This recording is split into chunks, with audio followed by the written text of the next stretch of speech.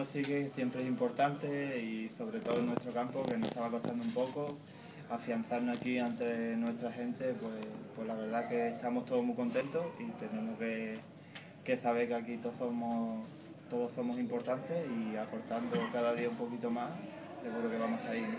Hoy faceta goleadora, ¿no? Por todo el partido. Hombre, siempre es bueno meter goles, faceta goleadora, un centrocampista no es, no es todos los partidos y siempre se marca pues muy contento.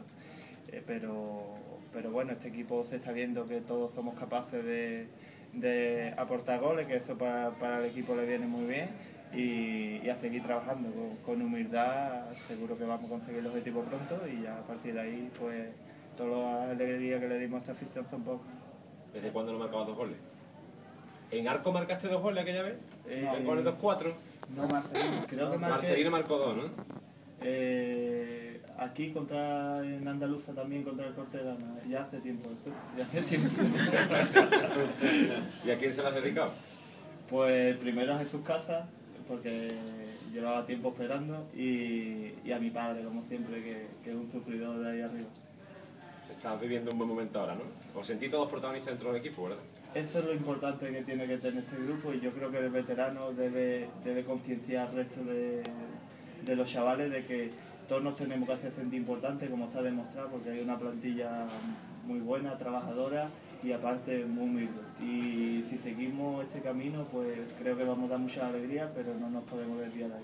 Ha dicho Gigi que quizá el principal rival pudo ser a partir de propio equipo por sentirse ese vértigo. Eh, ha dicho que la, el objetivo es la permanencia, pero nadie es capaz de que estando ahí arriba hay que luchar por la, por la liguilla.